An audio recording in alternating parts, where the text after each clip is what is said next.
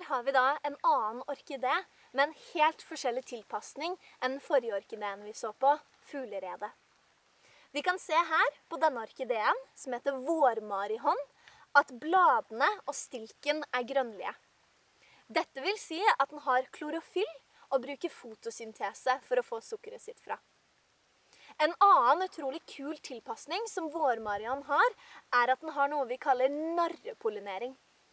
Det er fordi hvis vi ser på disse blomstene, så har de farger som da vil lokke til seg insekter.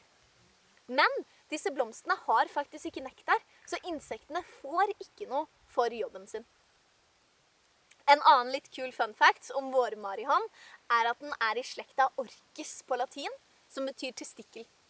Dette navnet kommer av at vårmarihånd lagrer opplagsnæringen sin under bakken i to rotknoller.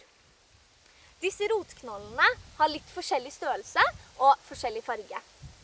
En rotknoll er fra fjoråret og vil være litt mørkere, mens den andre er fra i år og vil være lysere.